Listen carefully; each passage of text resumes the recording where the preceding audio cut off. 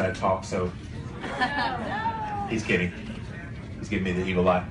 All right, so uh, you'll see we have a break after Dr. Gerber. Let's don't take that break, and I'll give you a break between Adam's talk and my talk. Is that good? All right, so is Jeff Gerber in here? There he is. So our first speaker today, hey guys in the back, can you guys be quiet? Thank you. Thank you. So um, that's the nicest way I can say it. I feel bad. So.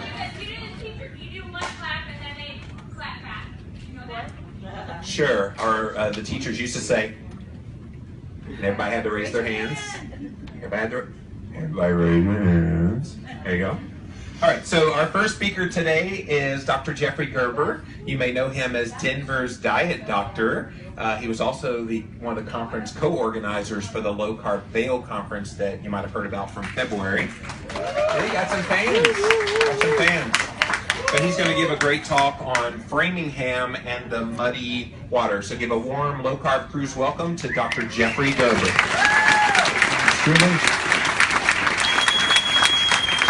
Uh, it's an honor to be here again. So I'm a family doctor from Denver, Colorado, and we use food as medicine. And apparently that's a novel idea still in 2016, go figure. So um, we have this guy, Dr. Ted Naiman, and he gave this awesome talk the other day. But during that presentation, where is Dr. Naiman? Uh, I wanted to rag on him a little bit. In about 30 seconds, he gave my talk. so what I figured I would do is slow it down a little bit for the rest of us that couldn't follow. Yeah, because I think this stuff is important. So what I'd like to talk about today is diabetes, cardiovascular disease, and navigating through the muddy waters when it comes to cardiovascular risk assessment. So I'd like to introduce you, not advancing. I don't think it's plugged in. Use the um, Oh, down button if you have to. okay. Nope. Ah, there we go. So I'd like to uh, introduce you to a couple of people first. So on the right of the screen is my problem-solving engineering friend, Ivor Cummins. Where are you, Ivor? he should be here. And that's me in the middle. Well, anyway, last summer he convinced us to uh, visit and interview the gentleman on the left of the screen, and that's Dr. Joseph Kraft. And Ted mentioned him the other day. Now, Ted was actually there, but he missed the photo op. Maybe next time, Ted. But anyway, um, um, Dr. Kraft is 95 years old there, and um, uh, he's now retired, and he says hello, he's doing great. And um, Dr. Kraft spent a career studying insulin metabolism, and he noted that there was a strong association, a strong connection between diabetes and cardiovascular disease. So much so, when you saw this quote, that I'm going the wrong way, that he said that those with cardiovascular disease not identified with diabetes are simply undiagnosed. And I'd like to explain to you why he said that. So, Dr. Kraft was um, the chief of pathology and nuclear medicine at St. Joseph Hospital in Chicago for over 35 years. And during that uh, career, he discovered what he termed the five hour insulin assay. And I'll talk to you about that. And he did the assay over that career in 16,000 people. That's astounding. He also um, personally did over 3,000 um, autopsies. He collaborated with other uh, researchers looking for root cause. Now, Dr. Kraft was well published in the medical literature, but it was not until he retired that he wrote a book called Diabetes Epidemic and You. And I think this is an awesome book, and I wish that every healthcare professional would read this book. Um, it's a hard read, but there's some great information. And so Dr. Kraft basically detailed his entire career. Uh, he talked about the insulin assay and cardiovascular risk, and I'd like to detail that briefly now. So what I believe he set out to do was to demonstrate that standard methods of diagnosing diabetes and prediabetes were inferior. And by standard methods, we're referring to measurements of blood glucose or hyperglycemia, okay? And we're talking about fasting blood sugar, which is just absolutely a terrible screening test and believe it or not, doctors are still using that today. Um, we're talking about uh, the two-hour glucose tolerance test, uh, which is uh, giving a uh, glucose challenge, say 75 grams or 100 grams of glucose, and then measuring the blood sugar two hours later. And he even showed that that wasn't good. And he even showed that hemoglobin A1C as a screening tool wasn't so good either. And so let's talk about the five hour insulin assay. So this uh, test was based on radioimmunoassay that was uh, being developed in the 1950s and the 1960s. And it was a tool that would enable us, or the researchers, to measure uh, very low concentrations of substances in the blood. And in this case, we're measuring uh, insulin in microunits. And at the time, people understood or be began to understand that diabetes was a disease of insulin ex excess, but nobody had quantitated it, and that's what Dr. Kraft had set out to do, and he was trying to create a gold standard test using this uh, insulin assay. And so the test, um, although he did it 16,000 subjects because he told us that, and I'll talk about Catherine Croft, she actually has the raw data. Uh, in the book, he, he talked about over 14,000 patients. And so the insulin assay is similar to a glucose tolerance in that you give a challenge. So in an, in an adult population, Dr. Kraft gave them 100 grams of glucose. And then what he would do is not only measure glucose, but he will also measure insulin over a five hour period of time and then during uh, intervals. And when he um, looked at the patterns, he noted that it clustered into five distinct patterns. So there was pattern one that he called normal. There was pattern five that he called uh, low. And then there were three patterns of what he termed hyperinsulinemia or diabetes in situ. And so what Dr. Kraft had created was a new method to diagnose diabetes and prediabetes and even diagnosing diabetes at its earliest stage. And so we'll take a look at the patterns, and we have to thank Ivor Cummins for these amazing graphs. So this is pattern one, or normal, or euinsulinemia. And what's distinct is that the fasting insulin is low, and let's say under five microunits, uh, Ted mentioned that, that you would be okay. But you can see that the insulin never peaks above 60 microunits. And now superimposed on the blue and the normal, we have the three patterns of hyperinsulinemia, or diabetes in situ. And so pattern two and three, which is in the um, yellow and the orange, are similar in that fasting insulin is normal, and then pattern two, the insulin in the uh, yellow will peak early, and then pattern three uh, will peak late. Pattern four is, is distinct in that the fasting insulin not only is high, and then the insulin goes sky high, almost up to 200 microunits. Now, um, it's not really for my for me, I don't think that the patterns are that important. But just to understand that pattern two, three, and four really represents a condition of insulin excess where the beta cells in the pancreas are just pumping out insulin, they're screaming. And then what we have is what I like to call pesky pattern five. And so we should talk about that. And so thinking about, well, what conditions cause low insulin? And here uh, we can see that the insulin doesn't spike uh, up above, say, 10 or 15 microunits. And so there, there, are two obvious conditions where you have a low insulin. That would be when you're a type 1 diabetic, you never made insulin in the first place. And then the second condition is what we call a burnt out type 2 diabetic, where the pancreas just said, I give up. Okay? But there's two other conditions where we see this um, low insulin pattern. And so number one is people doing a low carb diet. Anybody doing a low carb diet here? Okay, yeah. And then number two, um, somebody who was fasting.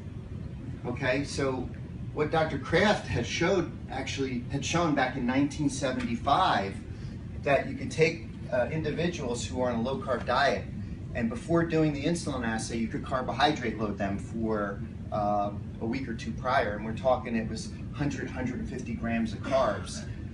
And the pattern would revert back to either a normal pattern one or something, something else. And the point there is that having that pattern five when you're doing a low carb diet doesn't mean that you're somehow insulin deficient or having a diet that's deficient in carbohydrates. It's a normal physiologic adaptation to not eating carbohydrates. The term we use today is um, physiologic insulin resistance. And so um, this is just interesting for me because I've, I do glucose tolerance tests. I'm actually one of the few doctors, and I do insulin. I've done now over 2,000 of them, and I'm never going to catch up with Dr. Kraft. But um, it's, it's just interesting to, um, to know what, what to do with patients who come into my office and, and they're on low carb diets and they all want to do, you know, uh, this, this insulin assay. And so um, I think the bottom line is that the, the Kraft assay, or at least doing it in this method, is really good for the mainstream to kind of screen. Okay, Dr. Westman had properly mentioned out that this is a whole new paradigm, folks. This is a shift in our thinking, and, and the standard methods don't necessarily apply to low carb people. But that doesn't mean that you can't do an insulin assay. I mean, if you're if you're understanding how it works, uh, and you're working with somebody who understands it, uh, we do actually have some low carb people that um, sometimes carbohydrate load. Sometimes they don't even carbohydrate load. So Ted doesn't do any of this stuff anyway. He just he triangulates. He doesn't like to do the, uh, the he thinks it's uh, terrible to feed uh, patients glucose. I, I, agree, but we don't do this that often. Okay, so um, the other thing that Dr. Kraft said is that hyperinsulinemia occurs before hyperglycemia. So how can we demonstrate that? So my friend and colleague, uh, Catherine Crofts from Auckland, New Zealand, actually is a PhD uh, candidate. And she actually got a hold of Dr. Kraft's original data and wrote her thesis based on um, the data.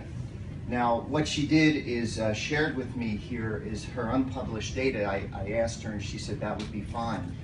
But she took a subset of Dr. Kraft's patients, actually the adult patients. And in these graphs, there's one missing. Um, she actually shows the three patterns of hyperinsulinemia. It's actually four patterns because she broke pattern two into 2A and 2B. But across the board here, in the blue, you can see that uh, in all the subsets, they had hyperinsulinemia, but yet they were euglycemic. Their blood sugars were normal as defined by the fasting blood sugar and the two-hour glucose. So indeed, hyperinsulinemia occurs often before hyperglycemia. So I still wasn't convinced that standard methods was inferior because I, I, I did a lot of I do a lot of glucose tolerance tests even before Dr. Kraft. So I wanted to understand this. So I created something called a I recompiled his data. It took me a long time because I struggle with that stuff. But um, um, I created what's called a confusion matrix. Okay, so this is where your eyes glaze over, okay? this is my one slide. So so this is the confusion matrix, but uh, the, the um, engineers, um, Dave will call this uh, type 1 and type 2 errors, I think is how it's referred to. But it's really, it's really useful. And in medical research, we're actually trying to compare one method to the other. So in this case, we're comparing the gold standard test, the Kraft test of hyperinsulinemia on the top, to um, the standard method of hyperglycemia or measurement of blood sugar on the left. And so you can see on the right side of the matrix that the positive and negative predictive value will tell the individual their likelihood of having a given disease in this, in this uh, uh, situation. We're talking about hyperinsulinemia based on hyperglycemia or based on glucose. Okay? And then on the bottom of the screen, we have sensitivity and specificity. And that tells the researcher, the clinic, clinician, how valid or accurate their test method is. And so what you can see is based on a, a high positive predictive value of 97% and a specificity of 92%, that if, if you get a, a positive test of hyperglycemia, you can rest assured that you have like hyperinsulinemia and that you don't even have to do the Kraft test. Okay, so no worries. But the problem is, is when you do the standard method, and we're talking about a glucose and a glucose tolerance test, and you get a normal result. Well, what does that mean? Not, it's not so good. So you can see that the negative predictive value is only 28%, and the sensitivity is only 52%. So it's not reassuring if you have a normal blood glucose. So that's the confusion matrix. And uh, it's, it really just, I, I'm surprised Dr. Kraft didn't put that in his book. But I told him I did it. he said, thank you. But, um, so, um, in order to explain when you're euglycemic, I, I want to just move to the next two slides. Might make it a little bit easier so we can get off this rotten slide. Okay, so um, you're euglycemic. You have a normal sugar response. Well, based on positive, the negative predictive value, you're only 28% certain that you're normal, but on the flip side, you're 72% certain that you're not okay or you're, or you're not normal. Okay, so that's, again, not good. And then, um, remember I said if you have a positive sugar, then you're pretty good, but again, if you look at the sensitivity of the test, the test is still missing 48% of the people. So the bottom line is, if you do this type of testing, blood sugar and even glucose tolerance test, a normal result provides a false sense of security. Okay? I could have just said that and skipped the confusion. so the next question is, could Dr. Kraft's test predict population risk? And so I think what's important to understand is it wasn't designed to do that. It was only designed to show how standard methods were inferior. But what you can do is take the Kraft method and apply it to other populations and see what you get. And so we have two studies here. The first is, uh, they're both NHANES studies, National Health Survey studies. Uh, this first one is from 2015, and they uh, estimated that up to 52% of the population in the US is now diabetic or pre-diabetic. And yeah, that's about right. Now, people criticize NHANES because it's just surveys, but I have to tell you, this test was done proper. So in 2012, they um, took uh, almost 3,000 people that represented the US population, and they actually did proper standard, standard testing. They did fasting blood sugar and glucose tolerance tests. And as I said, doctors don't do glucose tolerance tests. So they, it was a proper test, and it came up with 52%. And based on standard testing, that's spot on. That is right.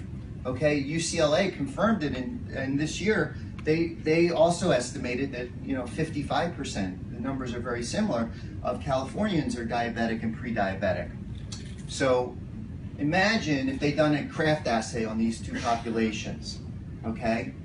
Which of course they didn't, but you could easily say that, that over 75% of, of, the, of the group would be um, hyperinsulinemia. I'm sorry, have hyperinsulinemia. So that's just astounding. But that's how we operate.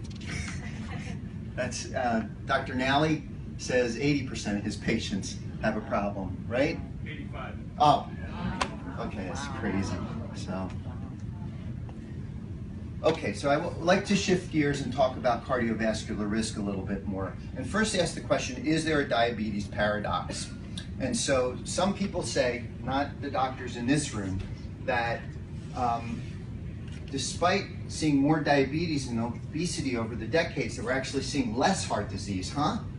Okay, so we have to think about that. And what's true is that since 1995, we've done a much better job treating the complications of heart disease. Thanks to modern medicine, the emergency medical system, smoking cessation plays into it. But we're talking about morbidity and mortality, okay? What we're really asking is, is the occurrence or the incidence or the prevalence of cardiovascular disease. And that's a tougher one to answer, okay? And I think a way to answer that question is to look what I look at what I call subclinical disease, subclinical cardiovascular disease. And so the question is, well, how would you do that? So we think that the cardiovascular imaging, such as the calcium score that I'll discuss in the end, is a great way to actually look inside and see what the subclinical disease status is. The other thing is that you can look at autopsy data from individuals that, that had passed away from non-cardiac causes. And when you look at that, you can see that with more diabetes and more um, obesity, there's more heart disease. So there's no diabetes uh, paradox, but a lot of people challenge low carb with, with that issue, Eric.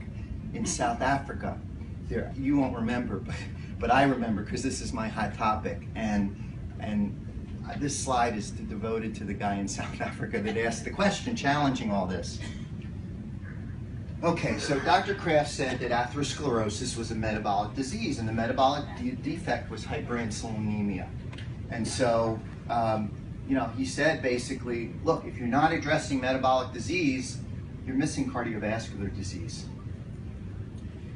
And then Dr. Uh, Jerry uh, uh, Reaven came along in 1988, and um, he made headlines for uh, Syndrome X, what we now call metabolic syndrome. And he too noted that atherosclerosis was a, was a metabolic disease. And he called it insulin resistance. And insulin resistance and hyperinsulinemia are intimately related. We could think of insulin resistance as occurring kind of downstream. But um, Dr. Reaven uh, broke it down further into glucose intolerance, hyperinsulinemia, and interestingly, atherogenic dyslipidemia. Okay, and uh, Reaven wasn't really a low carb person, but he understood that it wasn't necessarily the um, concentration of cholesterol that was important, but rather the quality. Again, this is, uh, in Dr. Westman's words, the paradigm shift.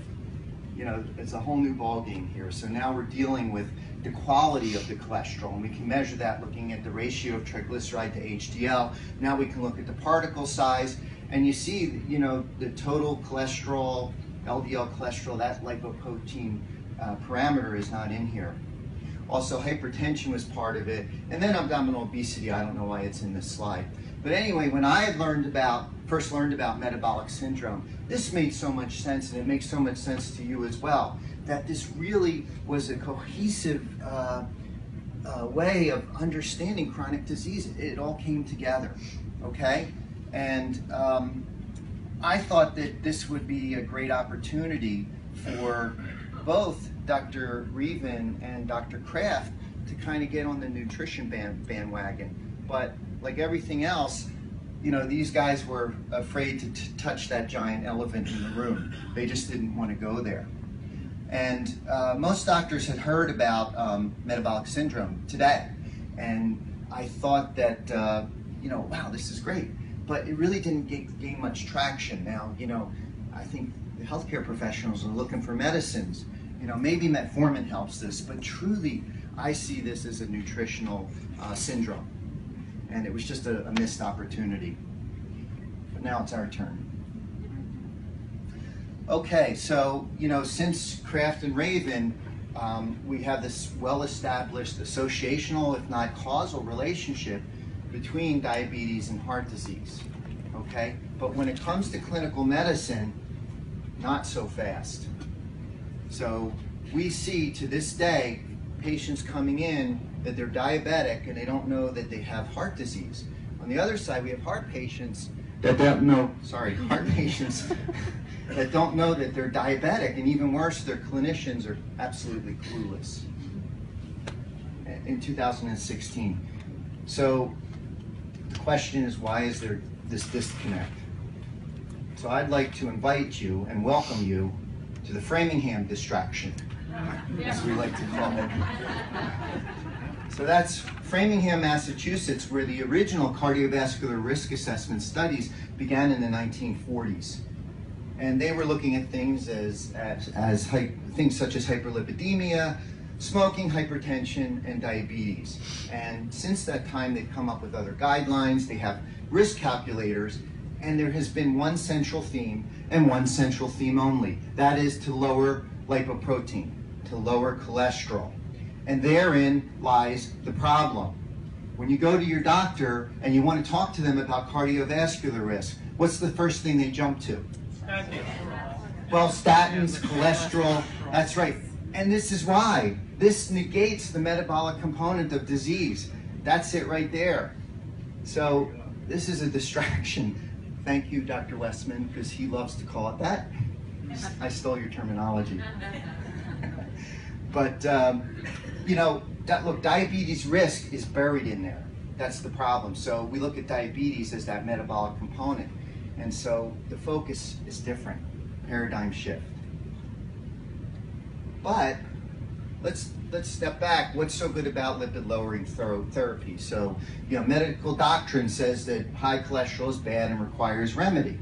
Okay? So, what are the mechanisms? Well, we have uh, this one theory that there's some concentration, some lipoprotein concentration gradient in the blood vessel and the blood vessel wall, and then the cholesterol gets in and causes atherosclerosis, and then um, we have this other theory of in, inflammation, which which is I like that one. That one's not so bad, but that was not. That's just come up in recent years. But to me, the, the mechanism re remains elusive. And so let's look at the experiments.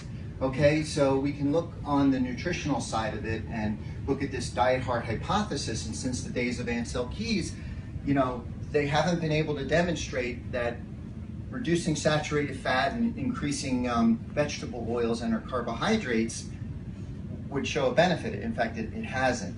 They're, they're, the studies, just the majority of them, have been statistically noisy. And then just recently, there's a group from NIH that revisited some studies, specifically the Sydney Heart Protection Study and also the Minnesota Coronary uh, Survey.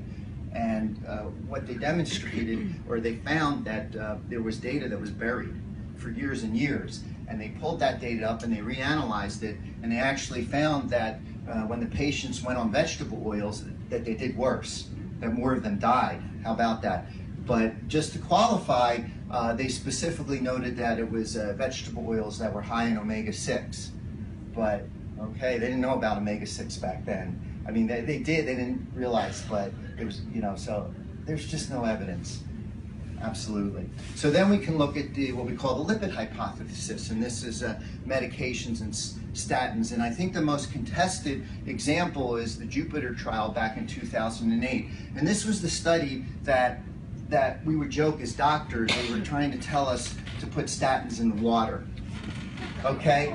So, you know, what they're trying to say is that you should give statins for primary prevention, in other words, giving it to individuals that were actually healthy from a cardiovascular standpoint. And when you actually look at that data, for instance, a non-fatal heart attack, uh, giving a patient a statin only risk, uh, reduces their risk, or their absolute risk, by 1% over five years. It's, it's not very impressive.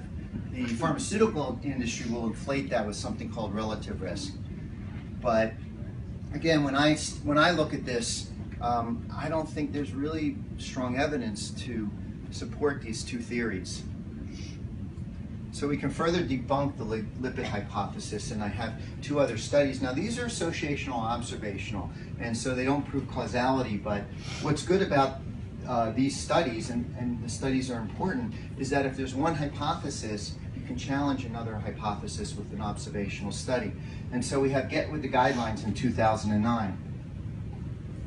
And so what that study showed, they, they actually took, a, a, it was almost 140,000 patients that were admitted to the cardiac care unit with coronary events. And of that group that was admitted, 75% of them were at cholesterol goal. They met the guidelines based on Framingham. So the question is, well, what the heck were they doing in the cardiac care unit if they were at goal, right? Second study, towards a paradigm shift in cholesterol treatment, so this was a review paper, and basically the conclusion of that paper was that um, they looked at elderly people, and the elderly, the, the, the people who had higher cholesterol lived longer. Okay, but again, it's observational, associational. Very interesting. So let's look at uh, the mechanisms for hyperinsulinemia and the metabolic syndrome. And they're really well established. In fact, they're endorsed by the American Heart Association here. And the mechanism of that is, is, that of inflammation, oxidative stress, and something called AGEs or advanced glycation end products. And all that leads to damage to the blood vessel wall, which ultimately leads to atherosclerosis. And so you can clearly see that this is an inflammatory pathway. And so what experiments do we have? Now, Dr. Ted mentioned a couple of them yesterday. So we have the Helsinki policeman's trial, we have Quebec cardiovascular study, we have MRFIT, it goes on and on. And basically they show if you're using diabetes as a metabolic marker, the more diabetes, the more heart disease. Now, here's the catch. Most of the data or the studies that we have are really associational, observational. But we have so many that when the studies keep confirming the same associational information, you have to really give it a give it a think.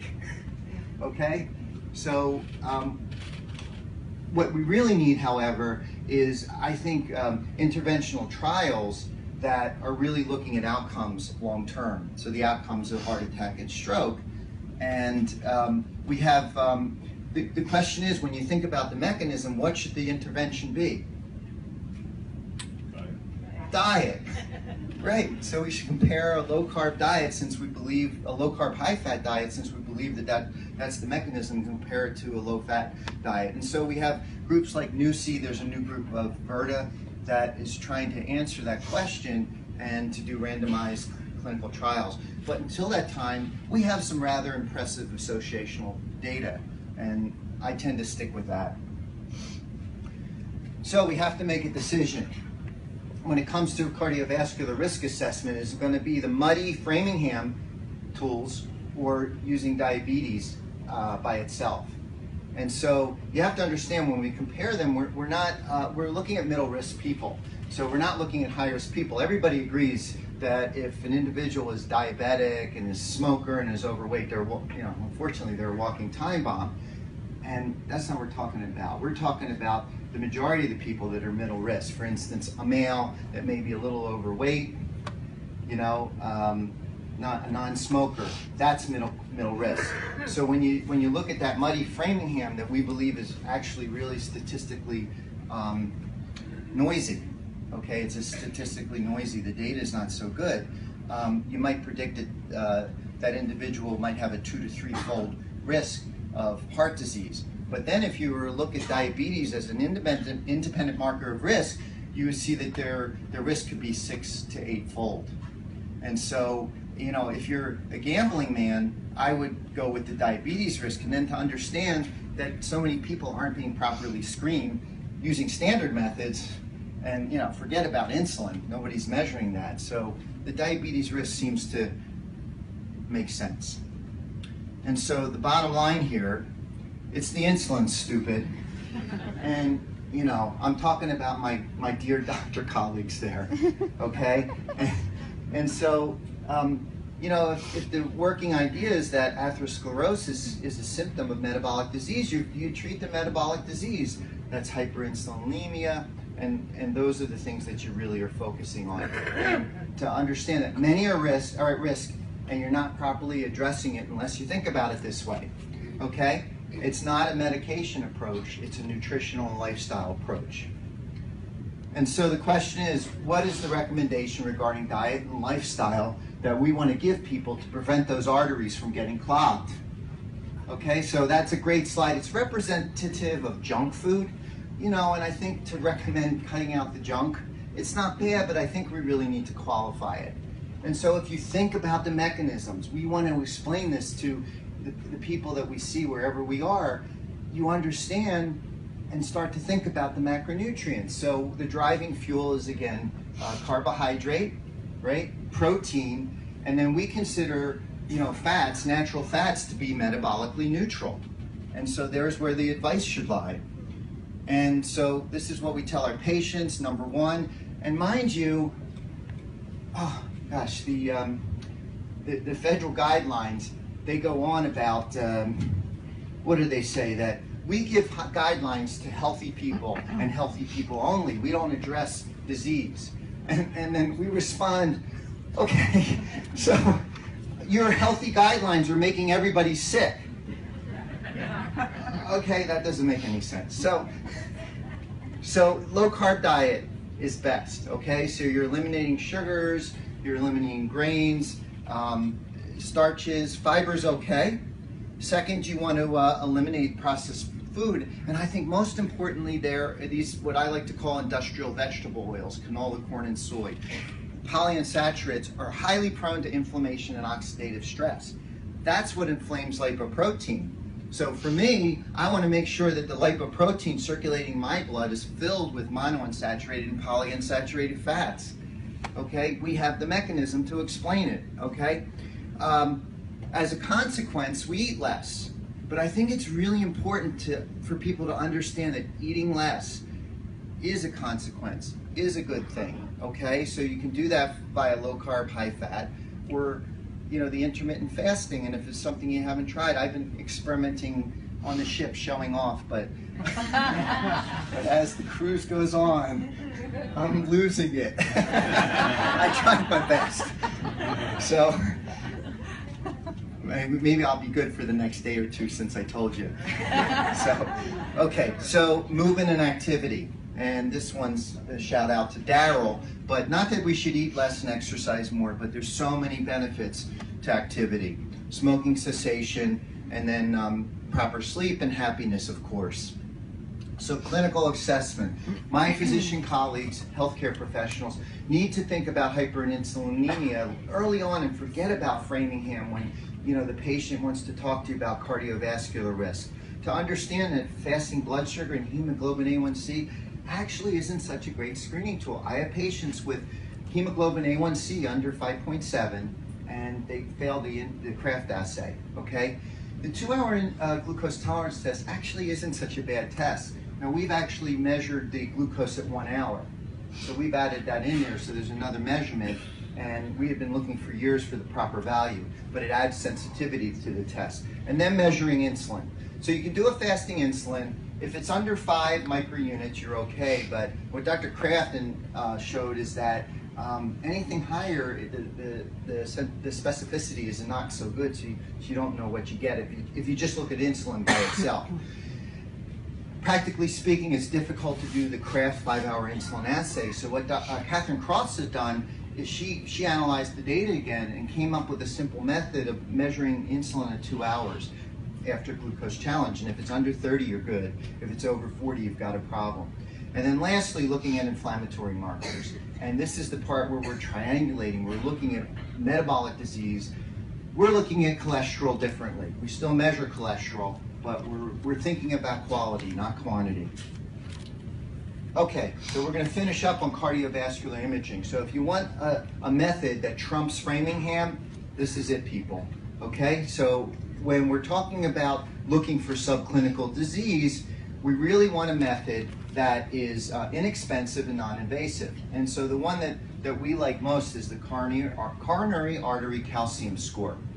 So in terms of invasivity, it's a CAT scan, and we call we like to call it the mammogram of the heart because it uses a similar amount of radiation, and you can do the test every two to three years, and it's very simple to do and inexpensive.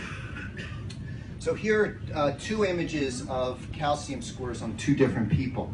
So the technology is really cool, and it's been around I think since the 80s. But basically, they're using a high-speed gated CAT scan machine and um, it's taking pictures and they do slices. It could be 64, 256 slices where they're actually looking at the coronary arteries. Now the, the mechanism of atherosclerosis is that normally you don't have any calcium and then as um, atherosclerosis develops, you see first soft plaque and then hard plaque. In the hard plaque, you can measure the calcium. Okay, and so if you look at the image on the right, this individual has a lot of calcium. It, it's lit up. It's hard to see. Uh, I circled it in red, but that's the left anterior descending, the widowmaker artery. So that one has a lot of calcium. Now, I'm guessing that this individual isn't so healthy. You can tell by the lack of muscle mass. And um, maybe I got I got in trouble for saying I'm going to guess that it's an older person. And then somebody said, oh, well, you know, older people can be healthy too. Yeah. But then if you look at the individual on the left who has lots of muscle mass, I don't know if he's buff, but that's me. so that's my calcium score. Sorry, I couldn't resist. That's my calcium score from, from last year. And so what you can see, my left anterior descending has absolutely no calcium. So that's a perfect score of zero. Isn't that awesome? And I didn't think it would be so. But, you know, just my history is that um, I've been on a low carb, high fat, whole foods diet for over 16 years. And I can tell you, I, you know, am I genetically blessed? Well, no, there's diabetes in my family, and just like the rest of you, I didn't know any better back then. So, um, yeah, that's just wonderful, and I can tell you throughout the uh, the whole sequence that this score remains um, zero. So, um, what's interesting is that my risk when you have a zero score of having a cardiovascular event in 10 years is less than 1%. Whereas if you compare it to the person on the right, their risk is quite high. So what's really neat is that this test is quantitatable, it's reproducible, and you can see that you can score your risk. And so you can see that the zero score, you have a very low risk. And if you have a score, calcium score of 1,000, your risk goes up to 30%, 37% more. And this has uh, been, been um, identified and studied in literally tens of thousands of patients. Okay, so that's the absolute score, but even worse or better is progression of disease. And so these are survival cur curves, is what they're called. And so if you look on the right, if you the, the real thick black line, the first one, you can see that in those people that have calcium score over a thousand, and if it progresses greater than 50%, 15% a year, 15% a year, that your mortality drops, your survival drops to almost 50% by three years out okay? But the good news is if you look on the left side, you can see that if you stabilize your plaque, that your survival, uh, your survival curve doesn't drop. I mean, it's almost like you didn't have calcium. So stabilizing plaque is golden. And how would we address this? What would be the therapeutic method? Diet. Diet. Are you kidding me? It's that simple? People don't believe it, Dr. Westman. so, so I hope that the muddy waters are clearing when it comes to cardiovascular risk assessment. So I just discussed cardiovascular imaging, but when you and your doctor is going to grab for that Framingham risk calculator, it's better that they would think about insulin, hyperinsulinemia, and metabolic disease because what's most important is to recognize that diabetes is a vascular disease. Thank you very much.